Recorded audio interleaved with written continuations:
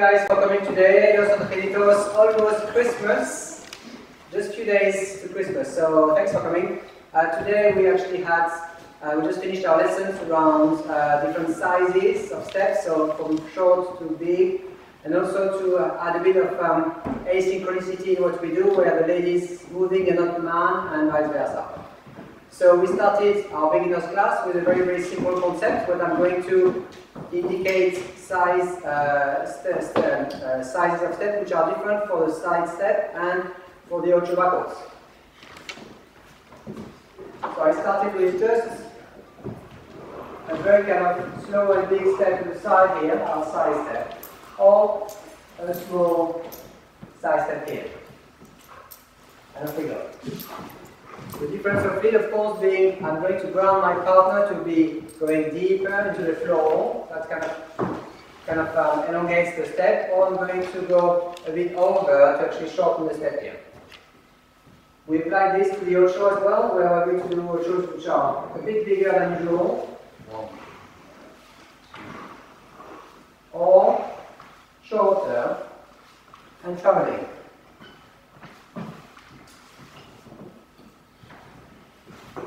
We then saw a little kind of combination where basically the lady is going to go uh, to a place I'm sending her, but I'm not going myself. So I'm going to go stop, change the weights, and send her to the side. One and two, one and two. So from this angle,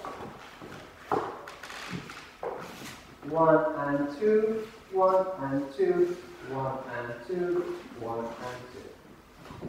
As we mentioned, the timing is key here because if you leave the channel way too early, it's going to become a cross, and therefore we can't do this. For us, we need to really, when we connect, bring our feet nicely together, otherwise we cannot do the change of weight, and then the change of weight should be on the spot so that we don't change the uh, position compared to where the leader is. We had a look at another combination where the lady is just going on this time to be on the beats, and the follower is going to actually use a half beat, and therefore is going to do steps which are uh, quicker and smaller. So I'm just going to use my little square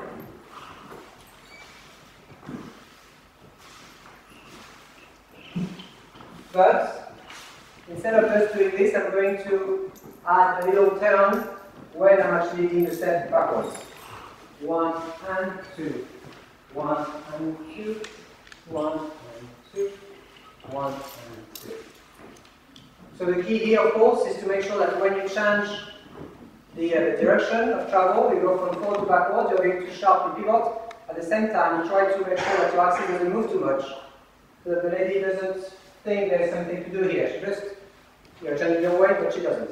For us, it's a square. Every two steps we pivot, and the other time we just go backwards. One, two, one, two, one, two, one, two, and so on.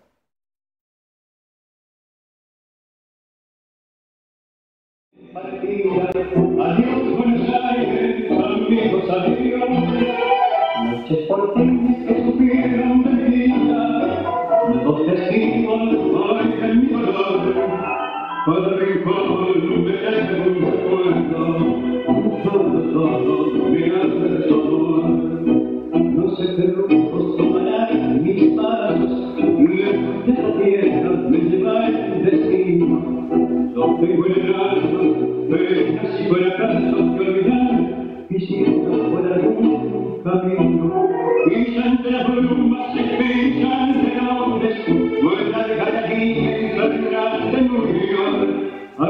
que se apega, que siempre se esconde, of the ser.